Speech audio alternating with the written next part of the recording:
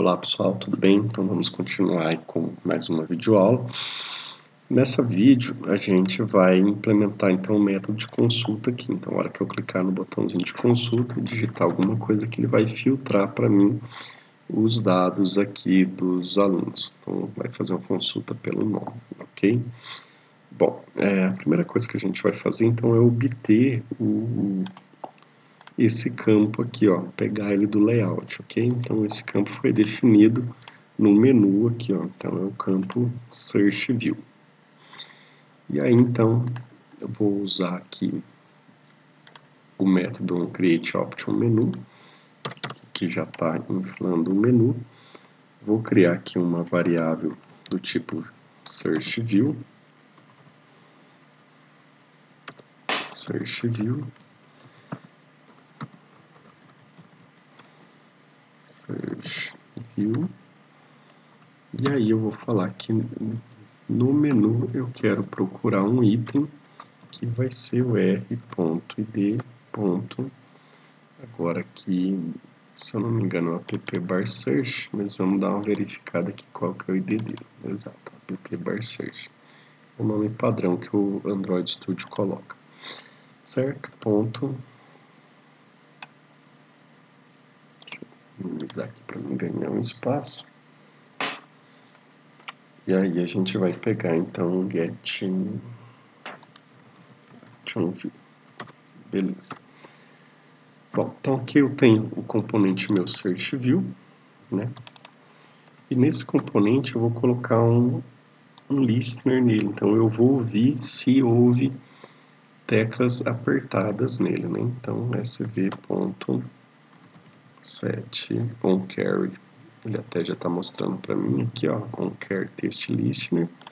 Então, vou consultar o texto, ouvir o texto digitado. Tá, então, new com carry text listener.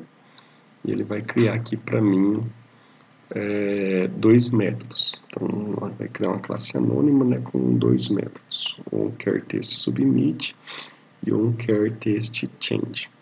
Então aqui só para a gente visualizar o que, que acontece, se eu colocar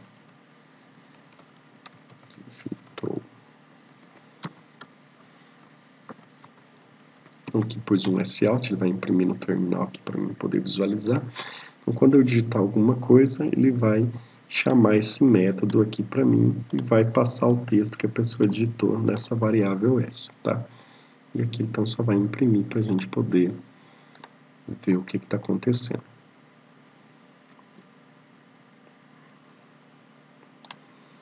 Vamos lá, abriu.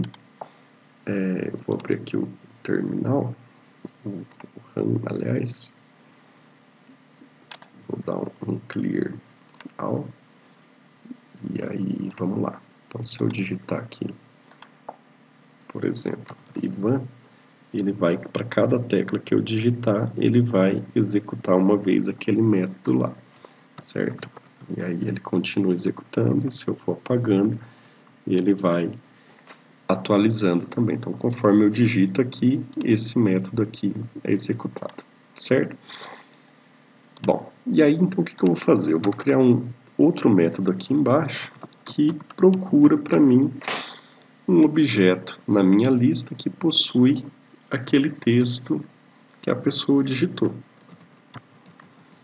Então, procura aluno string nome. Certo? É... E aí, com isso, o que, que eu vou fazer? Eu vou pegar e vou limpar a minha lista de alunos filtrados. Ponto. Clear.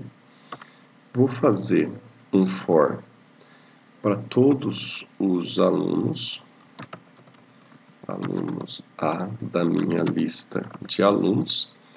Então aqui que é o pulo do gato lá, de eu ter duas listas, uma de alunos filtrados e uma de todos os alunos.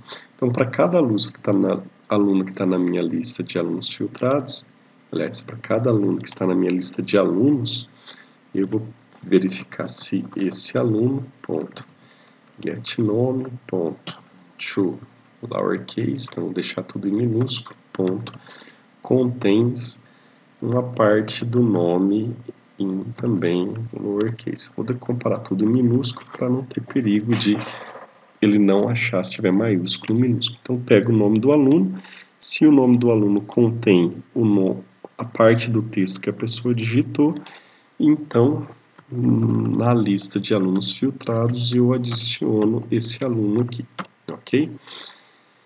É, aqui não é adial, aqui é só ad, um aluno por vez. Se não contém o texto, então eu acabo descartando. Terminei de fazer o for para todos os alunos que estão ali, eu vou e invalido de novo a lista para ela poder mostrar os dados atualizados. Ok? Então, vamos salvar, vamos fazer um teste.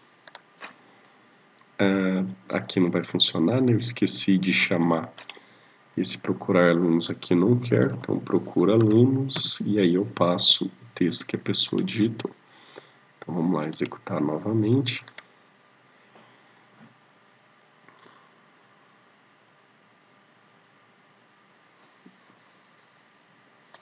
Então vamos lá, mostrou. Então se eu escrever Lorena, então ele vai mostrar para mim só o nome que tem a parte lá do Lorena. Se eu pegar aqui um, um A, ele vai mostrar todos os nomes que tem a letra A. Se eu pegar um E, por exemplo, só quem tem E, não tem tantos nomes iguais, né? então fica meio complicado. Então, que tem a parte AN, Ivan, ele vai filtrando aí os nomes estão por parte do nome. Se a pessoa for digitar José, Neide, então ele faz um filtro. Isso daí é legal que não fica buscando toda hora no banco de dados, né? Então está buscando em lista. Só que também está buscando em lista, mas está consumindo memória. Então tem que avaliar o que é interessante ou não em cada caso. Mas é mais para vocês terem conhecimento do que, que dá para ser feito, ok? Bom, então vou dar uma pausa nessa videoaula por aqui e aí a gente continua logo de seguida também. Vamos ver como que funciona agora para atualizar e para excluir registros. Então, até a próxima.